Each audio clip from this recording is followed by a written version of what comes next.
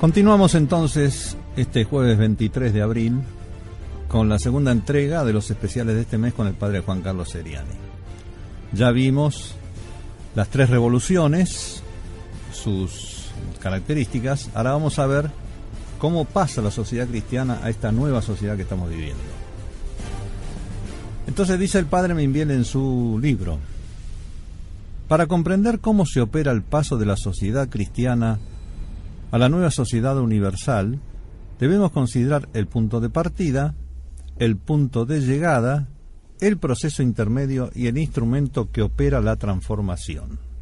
Bueno, ya, para hacer simplemente el planteo este y el desarrollo, evidentemente que hay que tener una jerarquía en la cabeza. Claro. Un revolucionario no puede hacer este tipo de planteo. Odian este tipo de planteo. No, porque se revela la malicia y los errores de, todo el No, no, pero simplemente para cualquier problema. Mm. Problema de índole personal, familiar, en una empresa, lo que fuese. Vamos a analizar, bueno, veamos el punto de partida, el punto de llegada, de dónde se partió, a dónde hemos llegado, cuál es el proceso intermedio, qué es lo que ha operado esta transformación. No, odian eso, odian. ¿Por qué? Porque el demonio sabe que si eso se revela, si eso se demuestra, se, se, pone a la luz, aparece él puesto a la luz. Él es el príncipe de la tiniebla. Esto es propio de una cabeza cristiana, una cabeza católica, una cabeza bien ordenada. ¿Mm? Entonces, para comprender, el padre Membiel dice, ¿no? Para comprender bien cómo se opera o sea, cómo se operó, cómo se llevó a cabo, ¿no es cierto? El paso, el cambio de la sociedad cristiana, de la civilización cristiana, a la nueva sociedad universal, así la llama él. Nueva sociedad universal, debemos considerar el punto de partida, el punto de llegada, el proceso intermedio y el instrumento que opera la transformación.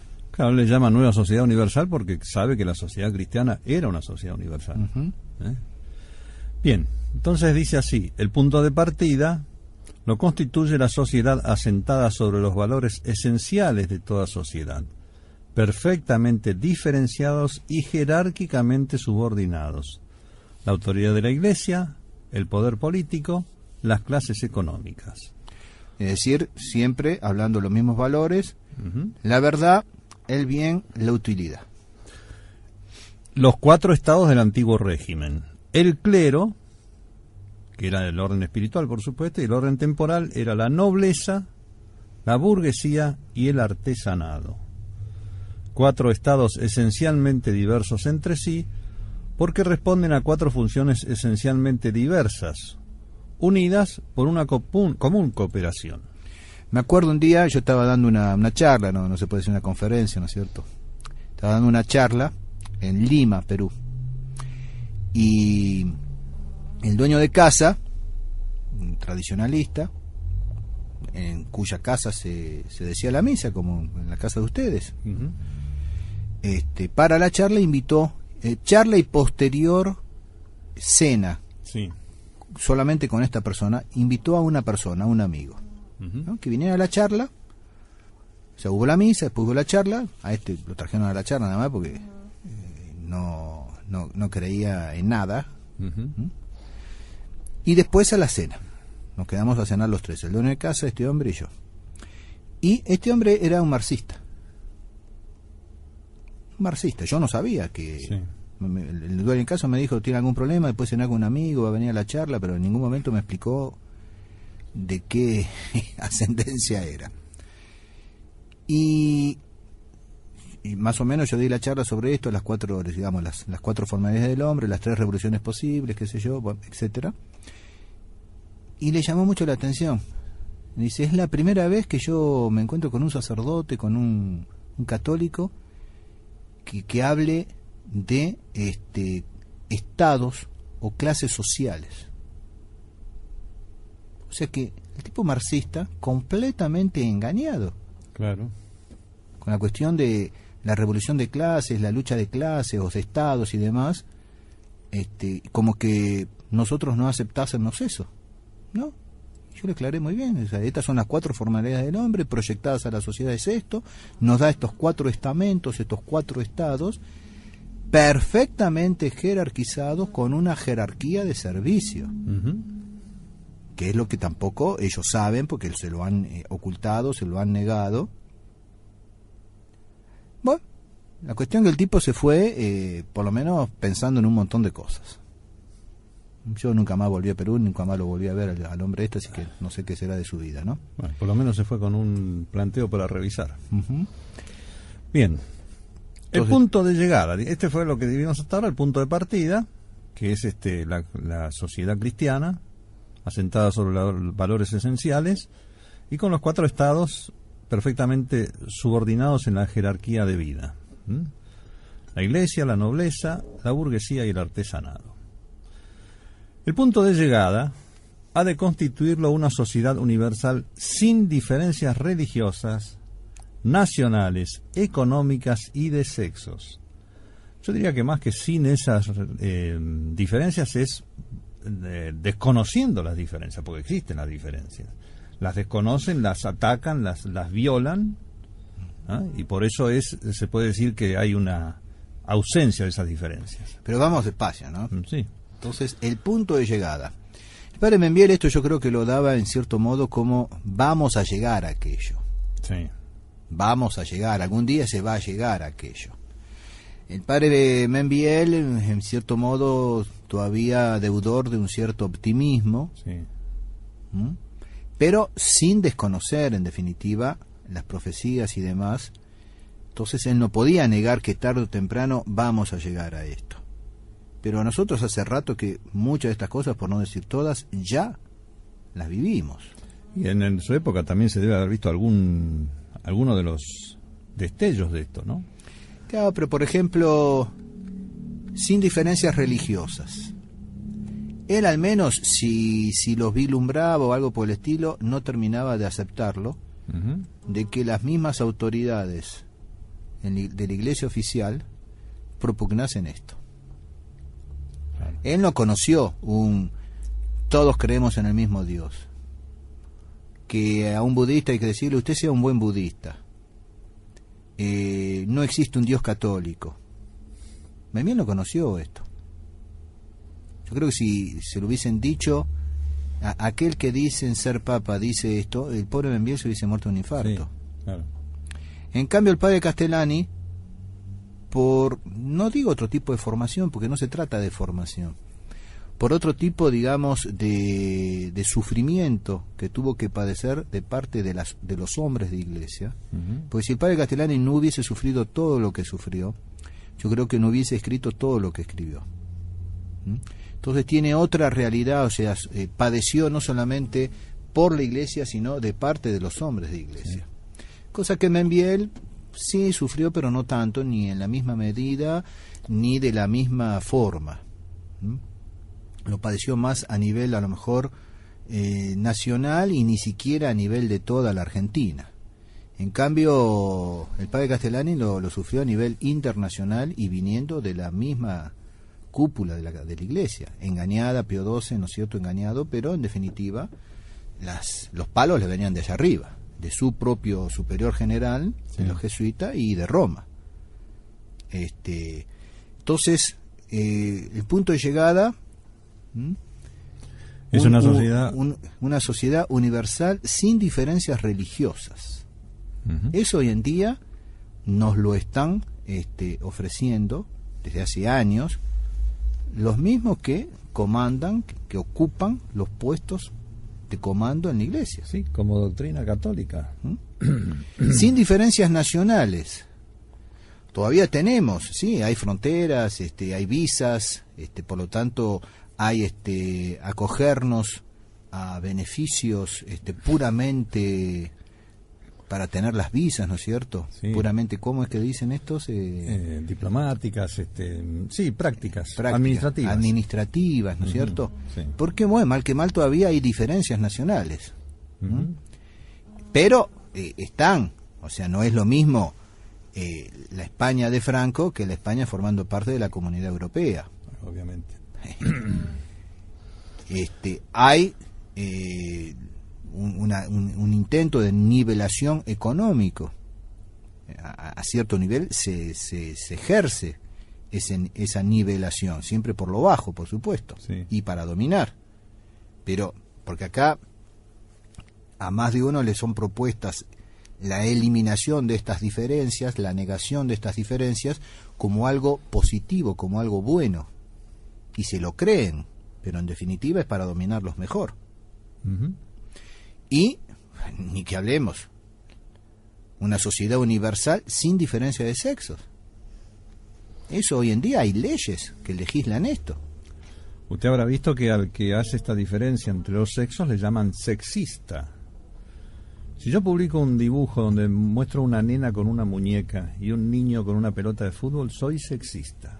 ¿Ah, sí? Porque estoy identificando cada uno de esos elementos de juego con un sexo. ¿eh? Si quiero hacer eso, tendría que mostrar dos niñas, una con una muñeca y otra con una pelota de fútbol, y dos niños, uno con una muñeca y otro con una pelota de fútbol. Entonces ahí no hay sexismo, porque cualquiera de los dos puede jugar con lo que quiere. En cambio, lo que es propio, incluso por la apetencia infantil, lo que es propio de la, de la actividad lúdica del niño, no, es sexista. Porque estamos haciendo una discriminación, que es sana, sanísima todo el mundo discrimina, yo discrimino. A mi casa no entra el transeúnte que va vendiendo diarios o verdura. Entran mis amigos, mis conocidos, alguna persona que viene a reparar algo. Nada más. Yo no dejo entrar a cualquiera. Estoy discriminando, por supuesto. Y en todos los órdenes de la vida. Mucho más en estas cosas que son mucho más importantes, muchísimo más importantes que la puerta de entrada a mi casa. ¿Eh? Pero claro, hay que eliminar Ahora, estas eliminación de diferencias ya eh, en muchos países, y en el nuestro también incluso, en algunos, al menos no sé si en todas las provincias, pero este, estas diferencias, la eliminación de estas diferencias, lleva a legislaciones que al que no acepte la eliminación de la diferencia, los van a castigar. Sí. Existen penas contra los que no aceptan la eliminación de estas diferencias. Y ya existe una condena social desde luego, ¿no? Uno es un muerto civil si defiende estas cosas, prácticamente. Entonces esto lleva a un igualitarismo universal en una, común, en una común participación de bienes materiales como vivienda, confort, alimentos, vestidos y placeres. La culminación de esto va a ser la propuesta del anticristo. O sea, fíjense en ese igualitarismo universal. Nosotros tenemos unos especiales de allá del 2010 sobre justamente el igualitarismo revolucionario. Bien, ¿Mm? vamos a repasarlo entonces. O sea, el otro día justamente estaba en la casa de, de unos nuevos feligreses, por así decir, que se han acercado al oratorio de Buenos Aires, justamente a través de la radio, de Radio Cristiandad. Eh, que el Señor ha hecho un, muy bonito, yo no lo escuché lamentablemente al aire, ah. pero ha hecho un muy bonito este testimonio eh, en el programa del 19 de marzo. La familia Peralta. Exactamente. Sí. Bueno, esta familia, el otro día estuve en, casa de ellos por primera vez, los fui a visitar, y hablando de un montón de, temas que salen constantemente con, con, con este señor, con su esposa y los chicos, una chica y un chico, eh, adolescentes, constantemente salen temas, y yo constantemente, bueno, sobre esto hay un artículo en Radio Cristiandad. ¿Y dónde? Entonces, buscándole en el buscador, no, mire, tiene que buscar acá y apretar. Y así salían cosas, ¿no? Por ejemplo, salió el tema de, del arte, de la música, este, y tantas otras cosas, ¿no? Entonces busque acá. ¿eh? Y bueno, y los que no saben buscar, o sea, porque a lo mejor aparece, la, me suena la palabra sola, y bueno, creo que el buscador es de los el nombre del link, del enlace. Sí, busca por el nombre del link. Ah, creo que busca por contenido, no estoy seguro tampoco. Eso habría que eh, aclararlo en algún lugar, tenerlo así, que, aparezca siempre en la pantalla para, o sea, porque es un poco, ya es una mina esto. Sí. Este, con una riqueza impresionante y hasta uno mismo a veces eh, yo, yo sé, eso está en la radio, pero a veces me cuesta encontrarlo. Y están las etiquetas también. ¿Mm? Lo que pasa es que lo de las etiquetas a veces también, eh, para una misma cosa, está demasiado etiquetado a veces. Claro. y, entonces se, multiplican. Tal vez habría que ser más preciso y no sé si hay, no sé, de hecho tendría yo no tengo tiempo a hacer eso ni de fijarme siquiera, pero si hay alguien que, que tiene tiempo y ganas, eh, sería bueno hacer como una especie de, índice, como alguien que va a una biblioteca y bueno, para encontrar lo que quiere no va a estar recorriendo libro por libro, no le alcanza la vida. Para eso hay archivos, que hoy en día están computarizados. Entonces, archivos de autores, archivos de temas, archivos de títulos. Este, entonces, por ejemplo, acá, bueno, este igualitarismo. Bueno, ¿dónde puedo encontrar algo sobre el igualitarismo o lo contrario, no? Es decir, la...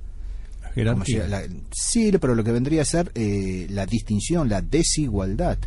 Porque justamente lo que yo pruebo en ese trabajo basado sobre Santo Tomás de Aquino, que la distinción y la desigualdad, que no es lo mismo distinción que desigualdad, la distinción y la desigualdad de las cosas es querida por Dios. Es Dios quien ha insertado la distinción entre las cosas y la desigualdad en ellas. Y por eso, eh, en un primitivo trabajo, este, al final terminó el nombre, terminó con este igualitarismo revolucionario, pero en un primer trabajo eran dos artículos contrarrevolucionarios. Entonces, dos artículos de la suma teológica contrarrevolucionarios. Entonces, ya como Santo Tomás de Aquino, en 1200 y tanto, se adelantó a este igualitarismo revolucionario, diciendo que la distinción de las cosas y la desigualdad en las mismas proviene de Dios. Es Dios quien quiere la distinción y la desigualdad de las cosas. Y por eso, en el fondo de todo igualitarismo e igualitarista, está el demonio. Hay una rebelión contra Dios. ¿Mm? Entonces, un igualitarismo universal en una común participación de bienes materiales como vivienda, confort, alimentos, vestidos y placeres. Entonces, por eso, este, a los revolucionarios les molesta que un sacerdote se vista como sacerdote, que un obispo porte las insignias episcopales, que un cardenal las suyas de cardenal y que un papa las de papa. Claro. Y si algunos todavía las siguen usando, es para engañar mejor y más. Yo sinceramente me esperaba, este, de decirme Jorge, que iba a andar de clergyman blanco. Eh. Me lo imaginaba de clergyman blanco. Pero tiene que seguir engañando un poco más. ¿Mm? Eh. Pero... Y hay una cosa que, hay que tener en cuenta, ¿no? Acá habla de una común participación. Es común, los, son comunes los bienes materiales, las viviendas, es común el confort, los alimentos, los vestidos, los placeres. Eh, perdón. Y de ahí eh, viene lo de comunista. Sí, evidentemente. A ver, madre de familia, igualitarismo universal. ¿Usted le va a dar de comer lo mismo a su bebé de seis meses que a su hijo de 15 años? O a uno lo desnutre y se le muere el de 15 años, o el otro lo empacha y se le muere empachado. Claro. No, hay distinción y hay desigualdad de alimentos. Y usted no le puede dar de comer lo mismo a un deportista que a un tipo que está todo el día sentado delante de su máquina de escribir. Porque necesitan distinta eh, alimentación. Claro. hay una desigualdad. Ah, entonces va a ir preso porque quiero desigualdad de alimentos. No, pero hasta la No, no, no, pero nadie habla que hay que. Bueno, discúlpeme, pero sí. Sí. Entonces sean coherentes. Lo mismo con los vestidos. Claro. Lo mismo con los placeres. Lo mismo con el confort, etcétera. Una común participación hacia la universal y absoluta desintegración, dice el padre Membiel. Bueno, el que no ve que el mundo se cae a pedazos no entiende nada, ¿eh? no entiende lo elemental de todo esto. Es la desintegración total, absoluta y mm. universal, como bien dice el padre Membiel. Bueno, ese es el punto de llegada a donde, si no hemos llegado todavía en todo, vamos a llegar. Estamos muy cerca, sí. Y entonces, ¿Cuál es el proceso de transformación que va del punto de partida, es decir, la civilización cristiana, al punto de llegada, que es esta civilización demoníaca? Este proceso de la transformación está señalado por las tres revoluciones, religiosa, política y económica es decir, por la destrucción de la supremacía sobrenatural de la Iglesia en la reforma, la reforma protestante, por supuesto, hasta llegar a lo que tenemos hoy en la Iglesia. Vea cómo la define el padre Benviel, muy distinto a como nos la quieren presentar incluso hoy en día a partir del Concilio Vaticano II. Dice, destrucción de la supremacía sobrenatural de la Iglesia. Supremacía sobrenatural de la Iglesia. Es eso lo que ha destruido la reforma protestante por la destrucción del poder político operada por la Revolución Francesa. O sea, lo mismo, destrucción del poder político. Y por la eliminación de la burguesía de la vida social por la Revolución Comunista. Y todo eso en lo que tienen de bueno cada una de estas cosas y no en los errores o excesos o lo que fuese en los, cuales pudieron caer tal o cual persona, tal o cual institución, porque no somos tontos, no existió la sociedad perfectísima. Ese culmen al cual se llegó en 1303 no era la panacea ni el paraíso en la tierra, hubo y había y hubiese seguido habiendo errores. Pero no dejaban de ser errores y propio de una sociedad bien constituida, llamarle al mal mal y al pecado pecado y reconocer que había pecado. ¿Mm? Porque eh, la redención no eliminó el pecado del mundo, eso va a venir al final. Al final. Previamente va a estar el reino milenario que va a ser, digamos, en el modo de vida superior a la cristiandad medieval, pero tampoco la perfección aún. Y acuérdense en que el obispo de Kent niega el reino milenario porque dice siempre existió y existirá el pecado original. Acuérdense de eso.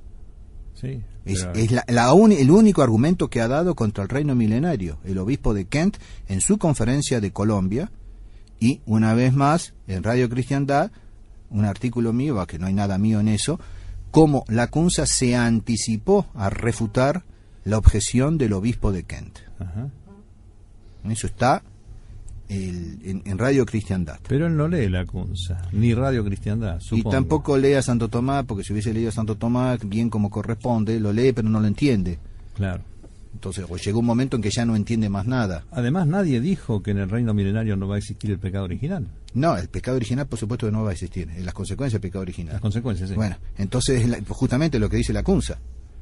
Es lo que dice la Cunza. Y es lo que explica la Cunza también por qué el reino milenario va a tener una conclusión. Sí, y va a tener enemigos. Y bueno, pero va a tener una conclusión. ¿Por qué se va a terminar? Justamente porque no va a ser extirpada las consecuencias del pecado original. Entonces, relean ese artículo también, donde eh, es maravilloso también lo que dice eh, el padre Lacunza, refutando por anticipación al obispo de Kent en su conferencia de, de Colombia. Entonces fue la única objeción y además dijo, es una opinión, es mi opinión. O sea que ni siquiera lo dio como esto es perentorio, definitivo. No, es mi opinión. Para mí es mi opinión, lo presento como una opinión. No puede existir eso del reino milenario porque siempre existirá el pecado original. Y no dijo nada más. Entonces yo cuando leí eso, digo, ¿Y, con esto se, quiere oponer al reino milenario? Entonces tuvieron que aparecer las gatas y los gatos que lo siguen a él, ¿no es cierto?, para toda una... o sea, proliferaron en artículos contra el, milenarismo y demás, ¿no es cierto?, sin probar absolutamente nada, y eso les valió uno y otro, siete artículos míos, para refutar todos y cada uno de esos pretendidas, este, pero le tendría que haber bastado la de su obispo. Y parece que no les bastó a ellos. Que como bien dice usted, mm, no es todo trabajo suyo, la, todo no hay nada mío, hace años por la iglesia y este... no hay nada absolutamente mío en ah. todo eso. Bueno, vimos el proceso, las tres revoluciones, lo que se atacó en cada una de ellas y que se intentó destruir, en algunos casos se consiguió, en otros digamos que se opacó, la supremacía sobrenatural de la iglesia sigue existiendo aunque está opacada y mm, sepultada por el mundo moderno.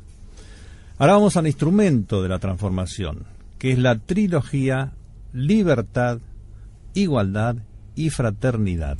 ¿Tiene algo que ver esto con el Concilio Vaticano II? Sí, por supuesto. Libertad religiosa, este, mm, el gobierno de, los, de las conferencias episcopales y la indiferencia religiosa, sí, el ecumenismo. Entonces, Monseñor Lefebvre dijo que justamente esa trilogía está en la base del Concilio Vaticano II y por eso el cardenal Suenes dijo el Concilio Vaticano II es 1789 en la Iglesia. Ayer repasando esa horita que conseguimos sobre del doctor Frías sobre la cuestión del acuerdo con la Santa Sede, él habla ahí de cómo se reflejan, habla de la igualdad y la libertad en todo el proceso y en el documento final, ¿no? Y hace algunos otros antecedentes, otras referencias a otros concordatos y demás. Y dice expresamente que no se puso en juego la fraternidad. Digamos, la fraternidad como concepto, no como asociación, ¿no? Sí, sí, sí, sí, sí. Este, así que ya estábamos en el año 66, ya se veían los efectos inmediatos. Si se aplica esta trilogía a una sociedad cristiana que comporta desigualdades económicas, políticas y religiosas, en virtud de su acción desaparecerá primero la jerarquía religiosa y quedará una sociedad de libre examen, secularizada, entregada al absolutismo del poder público. Y lo vemos en Decime Jorge, que no es una frase inventada por nosotros, sino dicha por él. Llámenme obispo, nada más. Sí, sí. Si a esta sociedad absolutista y autoritaria se le aplica la trilogía, desaparecerá el poder público y quedará entregada al dominio teórico de las muchedumbres, pero efectivo y práctico de las oligarquías adineradas, es decir, de la burguesía. Llega entonces el turno a la clase proletaria, es decir, a una nivelación más universal, universalización de naciones, profesiones, sexos y condiciones, esto es, a la supresión teórica de toda autoridad, lo que significa en la práctica el reinado legal de la astucia y de la fuerza en manos de una camarilla internacional que prepara la entronización, a su vez, del amo del mundo.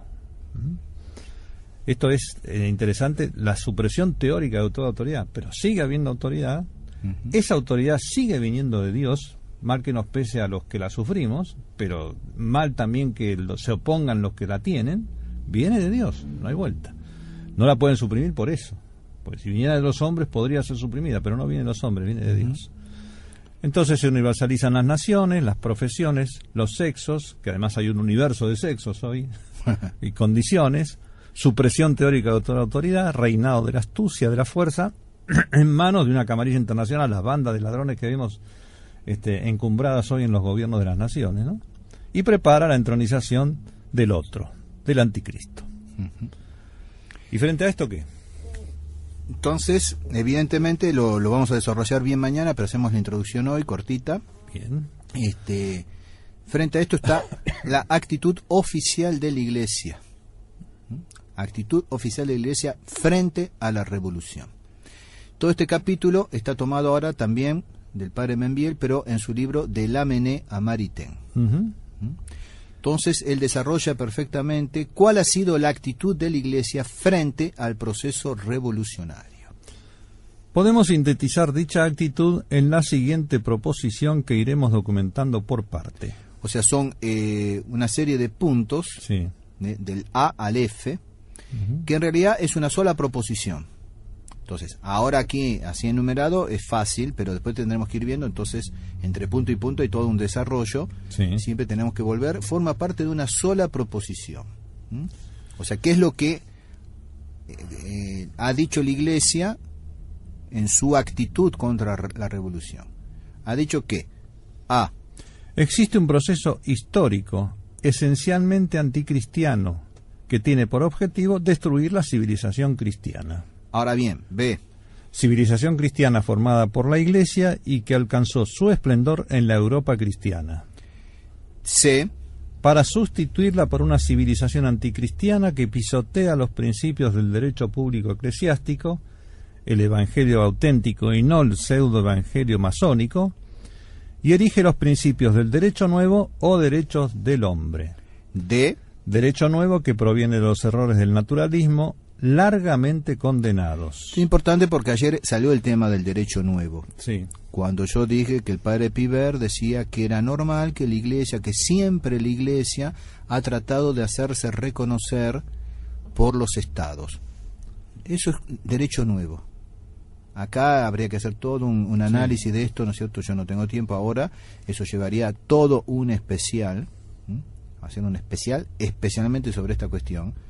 Pero esa sustitución de la civilización cristiana por la revolucionaria fue este, para erigir los principios del derecho nuevo, el cual proviene de los errores del naturalismo largamente condenados. Los últimos dos puntos de esa enunciación.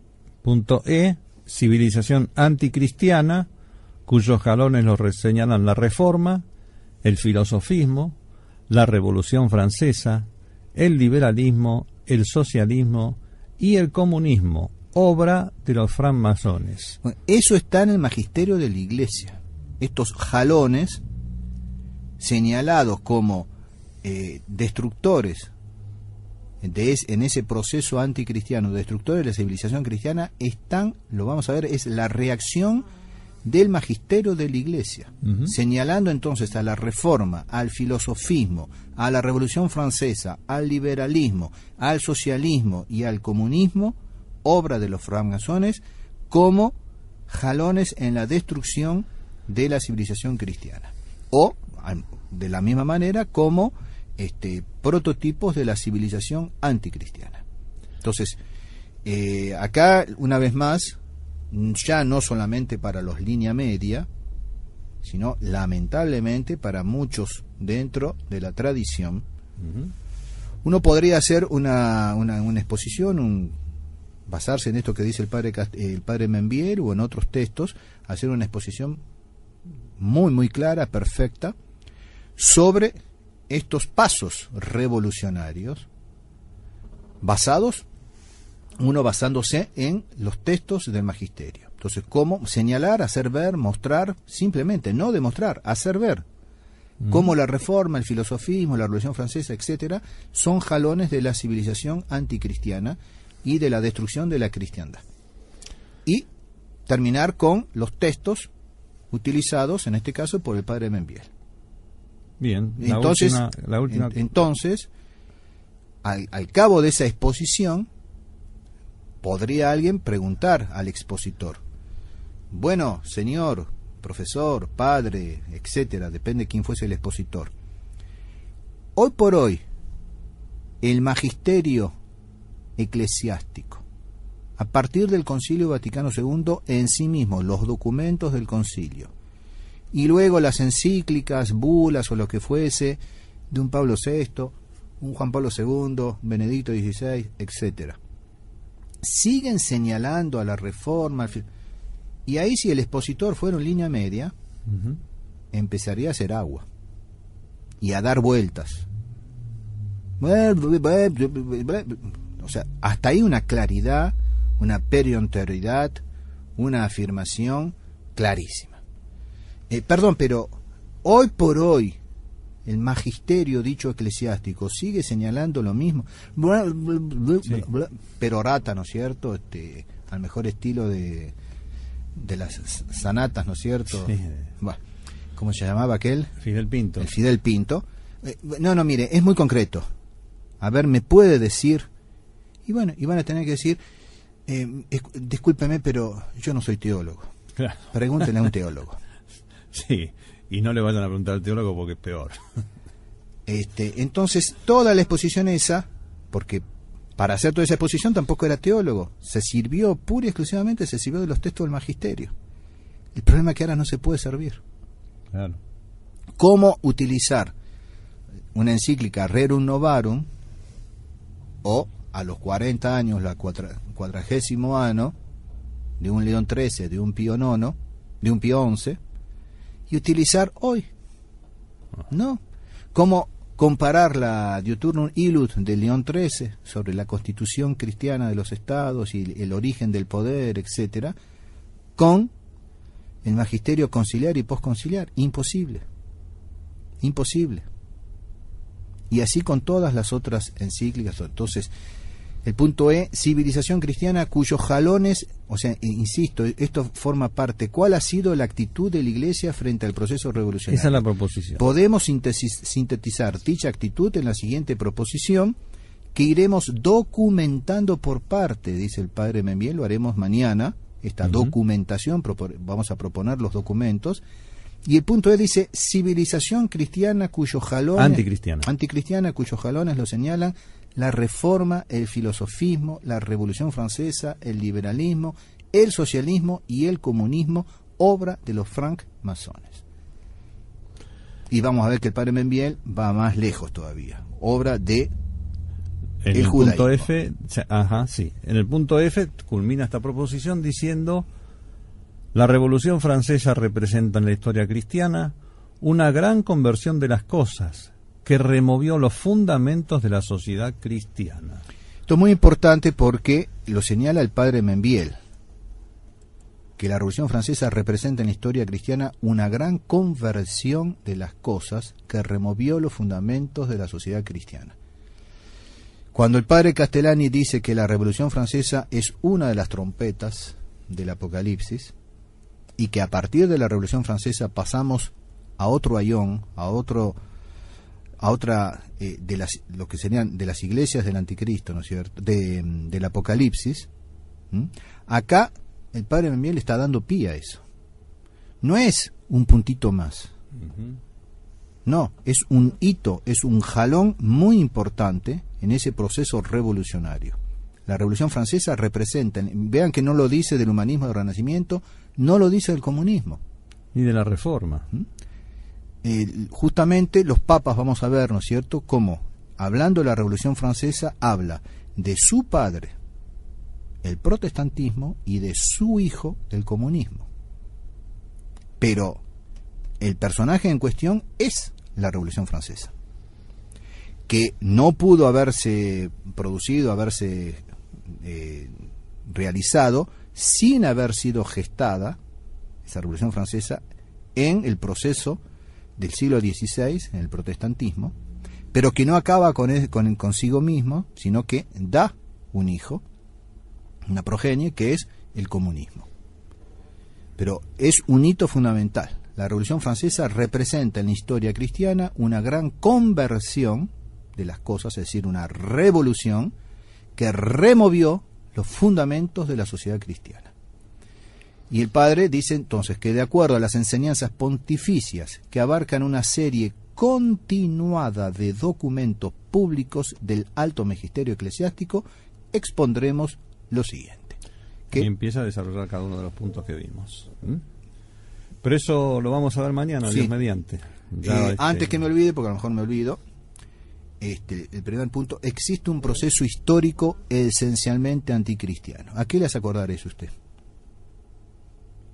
O sea, el alto magisterio eclesiástico sostiene que existe un proceso histórico esencialmente anticristiano y que tiene por objetivo destruir la civilización cristiana. Usted me hace una trivia muy difícil porque hay tantas cosas que se pueden decir sobre eso. No, no, una sola. Muy clara. Y hablamos hace un mes de esto. No, no, no me acuerdo. Uh, uh. le doy el nombre, Fluger. Ah, bueno. Tampoco. Uh, voy a tener que empezar a hacer trivia yo porque más de uno debe estar, si están escuchando, más de uno de sus que padecen sus trivias deben estar contentos. Acuérdese, Fluger dice, Monseñor Fele predicando en Lourdes, predicó la esperanza. No predicó movimientos conspiracionistas. Mm. Eso no es católico. Lo católico es la esperanza. Y resulta que el padre Membiel en de, la Menea Maritain nos va a proporcionar una síntesis de la actitud del alto magisterio eclesiástico contra en cuyo, conspiración que no existe. Claro, existe un proceso histórico esencialmente anticristiano que tiene por objetivo destruir la civilización cristiana.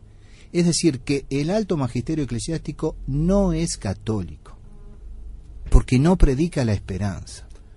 Ni el alto clero tradicional tampoco. No, lo único son Fluger, Felé, el obispo de Kent, porque en esto también sigue lo mismo. Claro. Yo lo lamento, están en lo mismo.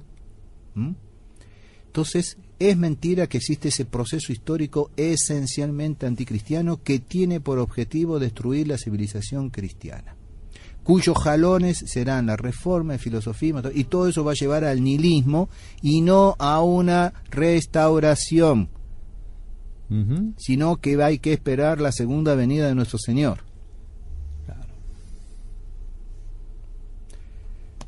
Veremos, Dios mediante, estos puntos del A al F, ¿m? este, siguiendo entonces los documentos, magníficos documentos, que el padre Memier señala además una cosa importante, serie continuada de Sí. documentos públicos. O sea, esa continuidad en la misma enseñanza le da un valor supletorio, porque no es un papa, no son dos esporádicamente, sino que es un magisterio continuado sobre lo mismo. En la misma línea. O sea No, que no. eso hace ver, ¿no es cierto?, que aquí hay eh, un fundamento esencialmente católico y le da un carácter de infalible. Eso es cuando el- la jerarquía católica se dejaba influir por el Espíritu Santo, se dejaba guiar e inspirar por el Espíritu Santo. ¿no?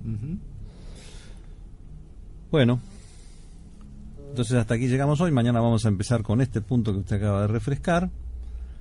Eh, le pedimos a nuestra audiencia que nos acompañe mañana a la última entrega de este mes. Eh, hoy eh, tenemos misa a las 20.30 en mi casa. Eh, confesiones desde las 19.30 más o menos. Más o menos, sí, sí. Y este, bueno, después diremos los horarios de las misas de hasta el domingo. Y le recuerdo a todos, salió este lunes el recordatorio, sigue, sigue el Padre Grosso rezando la misa tridentina por el alma de Fabián Vázquez, ¿no? a quienes están dedicados también estos especiales de este año. Muy bien. No sé si, si se puede avisar, no- supongo que sí, que ya hoy estará subido al blog los especiales de ayer el especial de ayer, sí, la grabación y el texto. y el texto. Dios Sí, mediante, sí, así sí. que los que ayer escucharon en vivo o, o las repeticiones ya lo podrán este, bajar incluso. Sí, el texto es extenso porque además hemos agregado muchos pasajes que no leímos, muchos pasajes que incluso no lo teníamos antes en el texto, pero para clarificar más, muchas referencias. Hay dos o tres puntos que están en blanco, por ejemplo el del proceso, el del expediente de la Secretaría de Culto, el del articulado de las constituciones de la fraternidad, porque no tenemos los elementos para, para volcarlos. ¿eh? No es que haya sido una omisión, es una ausen- ausencia de documentación.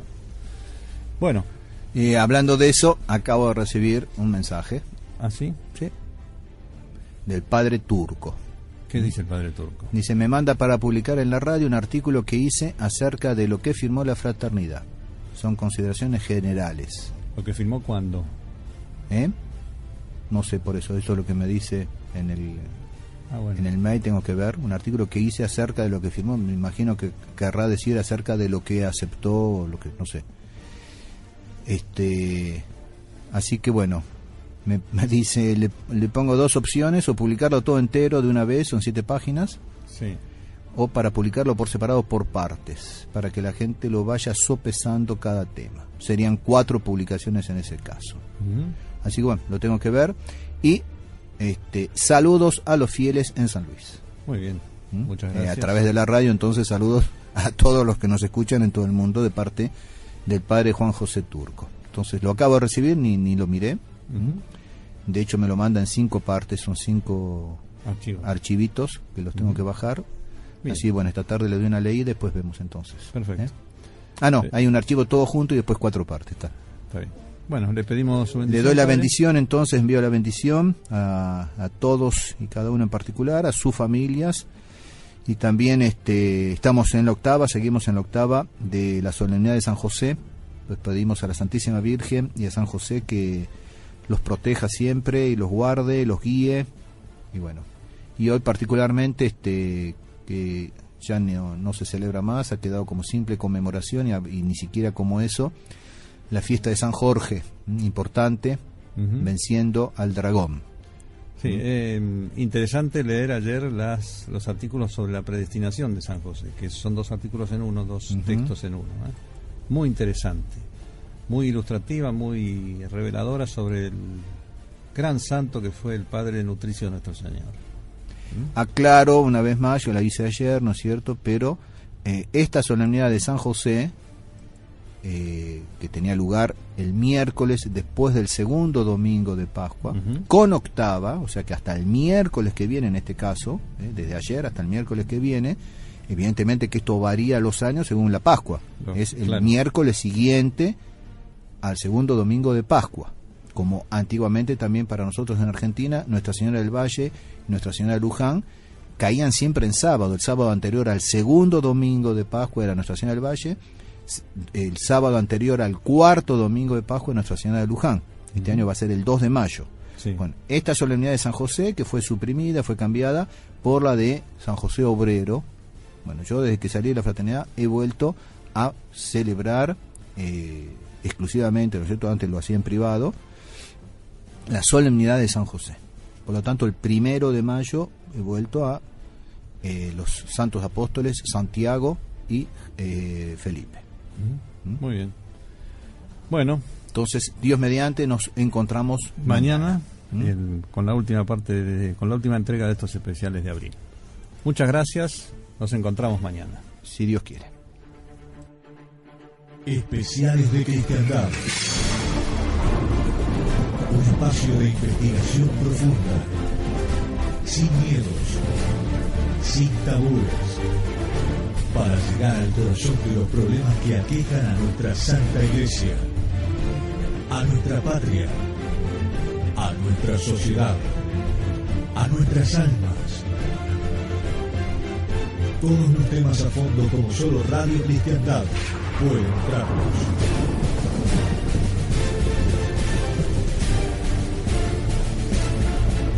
Especiales de Cristiandad